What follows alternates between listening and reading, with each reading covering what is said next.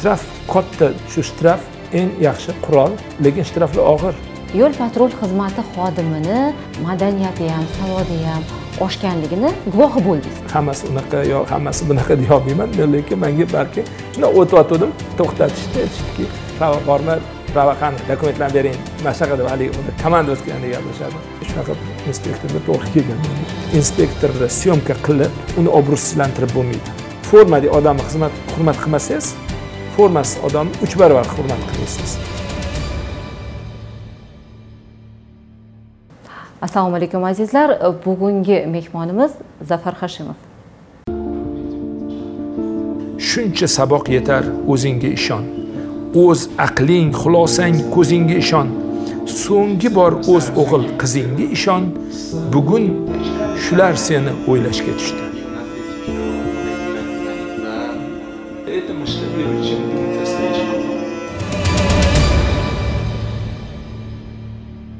hozir hamma hayron bo'lsa kerakdir. Davlat yo'l harakati xavfsizligi xizmati xodimi zafar hashimov bilan nimalarni suhbatlashadi?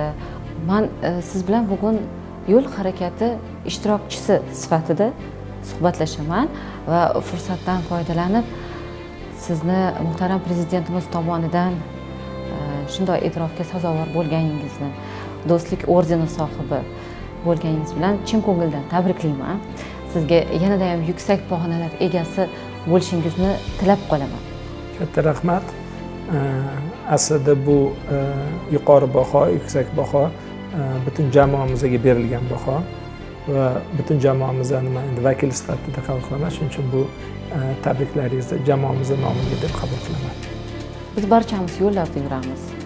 Piyoda bo'lib haydovchi bo'lib yo'lovchi bo'lib hattoki o'sha velosiped haydovchisi bo'ladimi? Hozirgi kunda mototsikl haydovchilari juda yam ko'payib ketdi.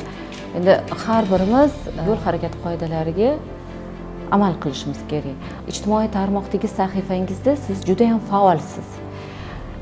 Postlaringizdachi jon kuyarlik bor. Nimadir sabab bo'ladi ularga jon kuydirib yozishga jon kuydirib gapirishga. Ayrim blogerlar o'sha post yozadiganlar ular e, gonorar uchun. Bu ishni qiladi. Balki e, oila a'zolari yo'l harakati xavfsizligi xizmati faoliyatida ishlaydimi? Sizni mana shu jon kuydirayotganingiz? Nima sabab? Qarindoshlarim e, shu yo'l xavfsizligi xizmatida yo'q. Bilmadim afsus. O'zi chunki yaxshi insonlar ishlashadi u yerda hammamiz endi shu mamlakat fuqarosimiz shu mamlakatda endi kunlik qonimizda to'kilgan shu anaqa jonimizga kuyadi. Shu har kun masalan haligi bir sahifa ochib yo'l transport harakati bo'ldi deganda haligi yuragimizdan hovuchlamasligimiz uchun siz aytgandek jonkuyarlik va e, fuqarolik burch nuqtai nazaridan fuqarolik burch deganingiz e, juda yam to'g'ri bo'ldi. Mana bir xil e, fuqarolarimiz peshanada borib bo'ladi deb gapirishadi shu yo'l harakatiga amal qilsam qilmasam peshonamda bor bo'ladi deganida. Mana man o'zim masalan e, allohga uni taqdiriga ishonadigan odamman. E, shuning uchun e, alhamdulillah shuning uchun aytamanki sababini odam yaratadi. Peshinda bor bo'ladigan deb masalan haligi yomonlikni sababini yaratyaptida endi masalan bandasi yaxshilikni umid qilish kerak yaxshiligiga ergashish kerakda. O'sha yaxshilikni sababini yaratib qo'ysa mana o'sha ollohim o'sha yaxshilikni peshanasiga borqitgan bo'ladi. Kichkina bir anaqa ham bor bilasiz hagomi shu bir e, mamlakatga to'fon keladi keyin haligi odam e, o'sha suv ham yo toshqin bo'lganda yo man shu e, xudoyim nasib qilsa qutqaradi deb o'tiraveradi. Keyin bittasi qayiqda keladi yur o'tir desa yo man man xudoga ishonaman man xudo o'zim qutqaradi deydi. Keyin yana bir kelib haligi vertolyotdan qutqaramiz desa yo'q o'sha uyda o'tirib man ishonaman peshonamda bori bo'ladi deb e, xudoyim mani qutqaradi deb o'sha payt keyin cho'kib ketadi xullas. Shu allohga yuzlanganda man shuncha ishonuvdim e, qutqarasan deb.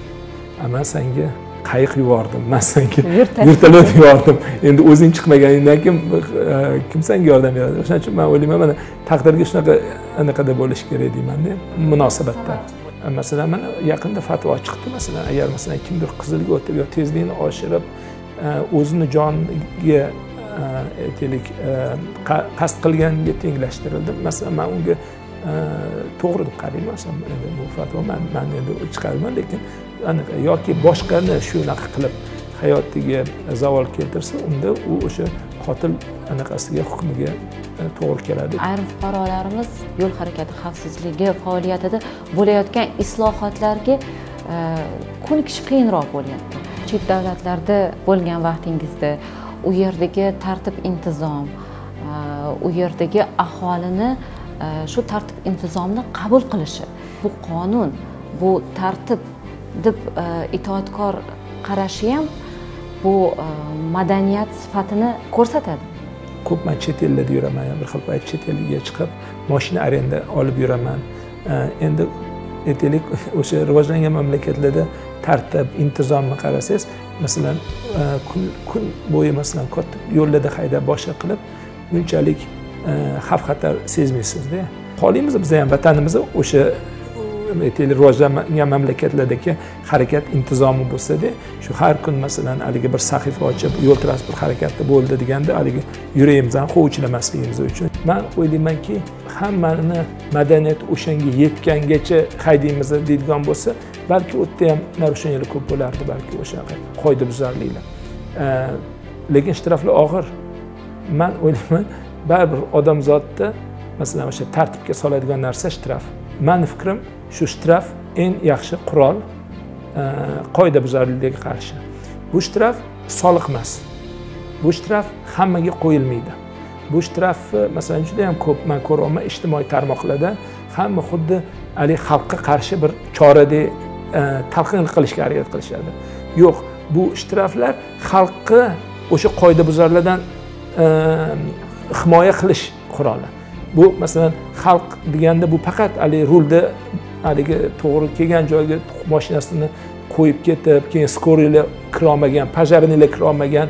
U yerda masalan o'sha pajardan yoki kasaldan odam masalan bir og'ir ahvolga tushgan bo'lishi mumkin kimdir nobud bo'lgan bo'lishi mumkin. Kichkina yo'laklarni to'ldirib qo'yib ketish masalan yoki e, aytaylik tez yurib masalan piyodani urib yuborishmi yoki boshqa mashinani urib yuborib masalan shikast yetkazish mana mana shu narsalarni qarasangiz masalan bu shtraflar xalqni qoidabuzarlardan aniq qiladi. Buni masalan xuddi hukumat xalqni jazolayotgandek qilib endi ko'rsatish masalan va shunaqa talqin qilish hozir haqiqatdan juda ko'p qilaman lekin man shu narsani hech tushunmayman.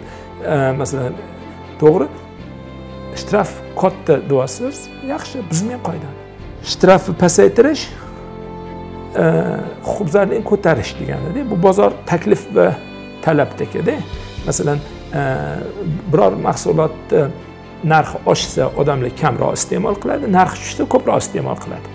Shtraf narxi tushsa demak huquqbuzarlikni ko'proq iste'mol qilamizda shunaqa narsa. Agar haligi kalla aql orqali yetmasa hech bo'lmasa cho'ntak orqali yetib keladida shu anaqa e, qoida bo'ladiyu ha. Xodimlarni hozirgi kunda qaytangiz saviyasi past umuman o'quvi yo'q deb e, chiqarishayotgani ham bu xafa bo'lgan haydovchilarmi bu? Kecha jarima to'lab qo'yganmi yoki jarima unga e, belgilanib o'sha jarimasini to'lamayman deb yurgan haydovchilarmi? Manga rahbar sifatida ko'p syomkalarcha yordam beradi. Ijtimoiy tarmoqlarga chiqib obro'sizlantiryapti deyishadi masalan to'g'risi agar o'sha xodimim e, o'zini noto'g'ri tutayotganida syomka qilsa masalan man o'sha xodimimga chora ko'rganim yaxshi agar u syomka qilganda xodimim hamma ishni to'g'ri qilgan bo'lsa bosim ostida ham o'zingizni to'g'ri tutibsiz deymanda. Mana hozir siz xodimlaringizni aytdingiz e, ularga chora ko'rishingiz mumkin o'zi ularni qonun qoidaga itoatkorlikni e, sizlarda e, maxsus bir bo'lim nazorat qiladimi? Balki ular o'sha ashaddiy yo'lda qoidabuzar bo'ladimi? Shunga nisbatan targ'ibot profilaktika ishlari olib boriladimi? Korxonani hamma haydovchi xodimlari qayta o'qishdan o'tgan. Biz o'shanda e, vazirlar mahkamasini bir qarori bo'lgandi esingizda bo'lsa o'qitishi shu narsada ham juda ko'p e, bahslar bo'ldi. Boshqa bo'ldi o'shanda o'sha o'qish kerak deganda masalan bizda ham endi anaqa korxona e, rahbari sifatida man ham xizmat avtomashinasini haydayman. Ya'ni manga ham majbur bo'ldi. Bu masala mana o'sha bizani o'qitgan instruktorlar bor. Masalan mani gapimni haqqoniyligini bilishadi chunki o'sha hamma darslariga borib e, qayta o'qidim. Pravam bor hamma narsa bor lekin o'sha qoidaga bo'ysunish tariqasidada sakson to'qqizinchi yildan beri moshina haydaymanda ana endi o'sha shuncha yilda ko'rdimki e, ko'p narsa esdan ham chiqar ekan. Xodimlarimizni ham ko'rdim. E, masalan o'sha berilgan savollarga hamma ham to'g'ri javob bermayotgandi keyin aniqlagandan keyin man o'sha instruktorga ham aytdim. Man aytdim? Man bunchalik zaruratni bilmagan ekanman. Yaxshi bo'ldi o'qitganingiz mana shu hamma xodimlarimizni qaytadan o'qib chiqibdi mana shu. Jarima jazosi sizga ko'rilganmi? Sizga nisbatan? Endi pravo olganman. Hali odam доверенность qilib bermaganlar mashinalarini haydab endi yuvib kel mashinamni zapravka qilib kel derdilar. Pravam bor. Lekin доверенностьim yo'q edi. Gai xodimi dan deyilarda davlat avtonazorati deyilardi bir kuni shunaqa kelyapman endi bilaman доверенностьim yo'q доверенность bo'lmasa shtrafnoyga qo'yishadi. Shundoq bitta joyda haligi e, yo'l yo'l tayoqcha bo'lardi u payt qizil tayoqchalar bo'lmasdi. Bir gai xodimi to'xtatdi. Man haligi o'zimni shundoq haligi ko'rmaganga solib o'tib ketdim. Bundoq qarasam birpasdan keyin haligi moshinaga o'tirib ketimdan quvlashga tushdi. Endi уже a уже yo'lga chiqdi dedim сразу chetga oldim endi unaqa anaqa qilmasdan. Man unga juda katta saboq bo'lgan o'sha yerda. Man o'sha odamni juda professional deb bilaman. O'sha hozir aytganingizni esladimda o'sha yigirma bir yashar yigitman. To'xtatdi. Tushib u payt haligi tushib anaqa qilinardi. Dokument pravalarni ko'rsatdi. Mana texpasportida mana anaqa ishonchnomangiz qani dedi. Mana shu ishonchnomam yo'q edi. Uzr shuning uchun qo'rqib o'tib ketdim dedim. Keyin aytdiki man dedi o'yladim. O'sha payt ugonli ko'p bo'lardi. Moshina o'g'irlash juda bir ko'payib ketgandi. O'sha saksoninchi yillar oxiri to'qsoninchi yillar boshida. Man siz tushuning qancha moshina o'g'irlanyapti siz to'xtamay o'tganingizga man o'yladim siz anaqa moshina o'g'irlab kelyapsizmi deb o'yladim. Shuning uchun haydadim masalan доверенностьim yo'q deb to'xtaganingizda man tushunardim. Ko'rinib turibdi. Man endi hoshimov zafar komilovich e, texpasport hoshimov komil qo'chqorovich endi ko'rinib turibdi. Ota bolasizlar доверенностьim yo'q deb. И bir shu gapni aytdida aytdiki mana shu qilgan ishingiz behurmatlik bo'ldi. Formadagi odamni xizmat hurmat qilmasangiz formasiz odamni uch barobar hurmat qilmaysiz keyin shu behurmatlikdan bir biringlarga ozor yetkazasizlarda qani yana deb formali odamni qidirib qolasizlar dedi o'tirib o'ylab ketdim. Shundan keyin haqiqatdan anaqa o'zim armiyada xizmat qilganman forma kiyganman. Masalan man o'zimni vakili sifatida shu forma kiydirib qo'ygani uchun ham e, man o'ylaymanki e, qandaydir e, bir pog'ona bo'lsa ham shu davlatimizni hurmati shu hurmatimizni qilishimiz kerak deb bilaman. Mana endi masalan ochig'i mana yaqinda ham bo'ldi. Chap qo'ldan qayladigan qayilishadiyu shunda man chap qo'ldagi anaqada turuvdim svetoforda lekin to'g'ri o'tishim kerak edi. Endi oldimdagi mashinalar to'xtab qolgani uchun yani stop polosidan o'tdim.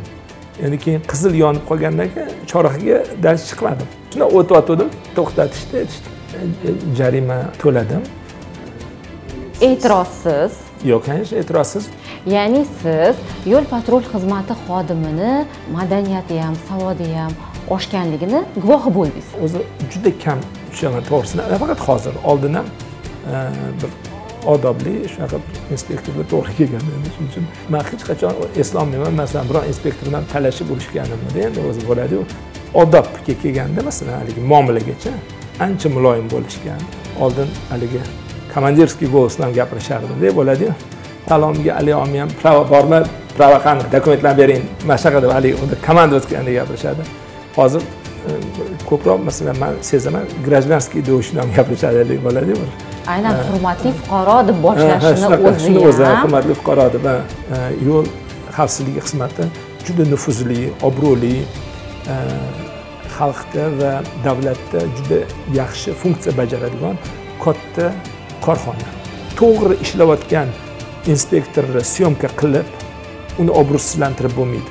Sizga katta rahmat. Yana bir bor mukofotlaringiz bilan tabriklab qolaman va eng yaxshi niyatlarimiz bugun siz uchun Э, doim shu jon kuyarligingiz sizga dalda bo'lib kelsin. Kelajakdagi muvaffaqiyatlaringizga erishishga hamroh bo'lsin. Rahmat sizga. Sizga rahmat.